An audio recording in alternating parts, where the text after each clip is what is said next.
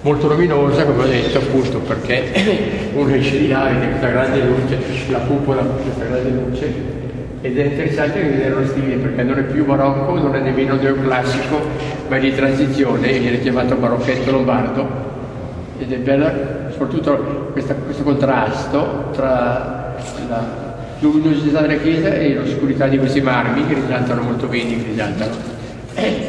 I quadri sono, eh, sono tutti del 1700, ad eccezione di, di, di pittori più o meno famosi. Questi quadri sono importanti, questi due,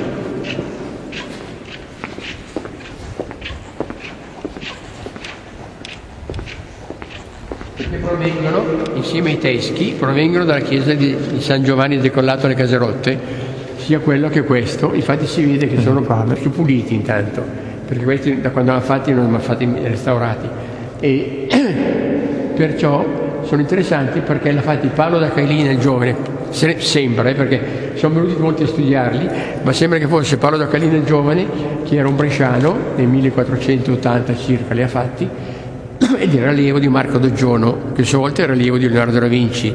Infatti quello specialmente è vagamente leonardesco, se guardate il fondale, la parte, la parte di quel paesaggio molto.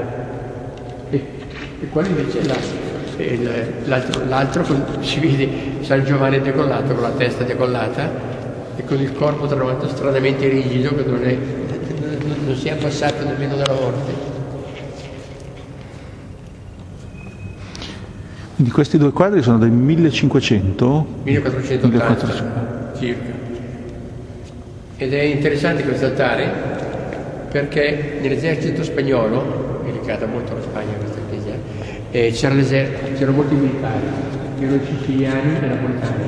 Per dare anche loro la possibilità di pregare, caso unico delle chiese lombarde, hanno dedicato un altare ai meridionali. Per esempio quella è Santa Rosalia, che è la patrona di Palermo e sotto ci dovrebbe essere un busto di San Gennaro che non lo mettiamo perché se no lo porterò via, lo prendiamo fuori solo il 19 settembre quando c'è lo scioglimento di sangue, l'abbiamo in sacrestia, l'abbiamo ed è particolare. Sì, un San Gennaro a Milano. Bisognerebbe farne una coppia, però poi rubano anche quella.